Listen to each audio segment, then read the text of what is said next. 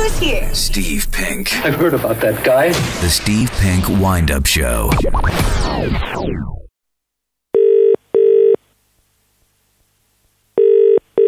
Hello, Hello there, Mrs. Randolph, please. speaking. It's Ian Taylor from Environmental Health, Mrs. Randolph. Yes. Bit of a touchy subject. We've had a letter this morning from one of your neighbours Oh, yes. about noise you've been making. Well, I've been making. Yes, you're making a lot of noise apparently.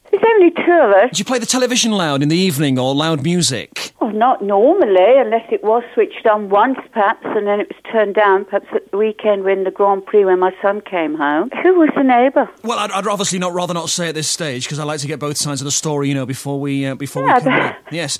Um, I mean, do you get on very well with your neighbours, if you don't mind me asking? Well, I mean, I don't. Uh, there's only one neighbour in front of me. Well, you've had, a, you've had a, a bit of a run in with them over the years, have you? Well, I mean, obviously, No. yes. We're Uh, very friendly with the neighbour in front. The neighbours at the side of me, which are council, the environment giving me a, a saying that we've caused a lot of noise. And Could you, uh, r- ra- Hello? Who- hello, who's hello? this? Yes, hello there. Uh, Who this are is- you? yes, you would be. My name is Randolph. Uh, is that your first name? It's my surname. Who, who are you calling? So you're. Uh, Who are you calling? Will you stop shouting at me? I'm trying to sort this out for you. Why are you ringing this number? Well, if you shut your face, I'll tell you.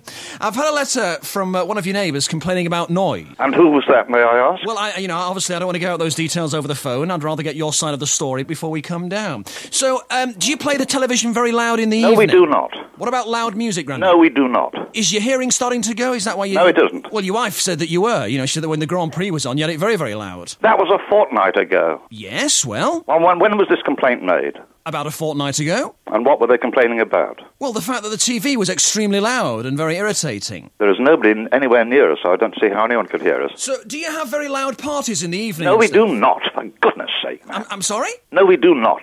Well, what do you do? do you, I mean, do, you know, do you have a lot of friends round? No, look, I am getting sick and tired of this. Well, I'm getting rather sick and tired of you. You know, with your attitude on the phone. I'm trying to be pleasant, and you've done nothing but shout at Peasant, me. you're asking insinuating questions.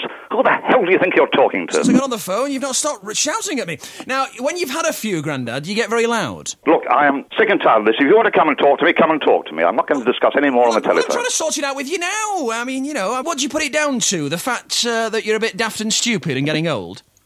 Listen, any more insulting remarks from you? Who's, who's your superior? I'm sorry? Who is your superior? Well, I don't want you to speak to him. You'll get me into trouble. I all will sorts speak of to him. Oh, you'll get me into all sorts of trouble if you do that. That is exactly my intention. I'm not going to put up with your insulting remarks any longer. Well, I'm trying to sort it out for you, and... Uh, You're you- not doing a very good job. Well, I've had training on the phone, you know, how to deal with people. What is your name again? My name is Mr. Ian Taylor, Taylor. but you can just call me Sir. And where are you? Right. Where are you? Uh, Chessington. And what is your appointment?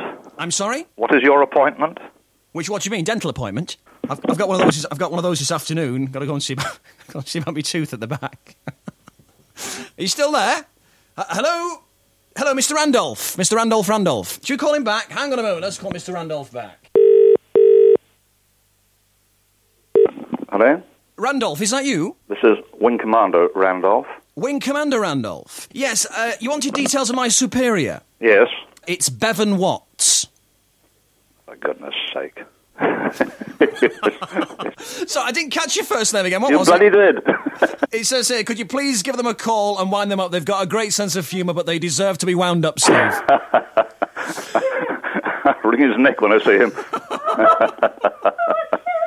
Listen, this is Steve Penk. What should we call you, Peter? Should we call you Wing Commander? If you must. Hey, listen, Peter, thanks for being a great sport. I love you, man. Steve Penk. The Steve Penk Wind Up Show.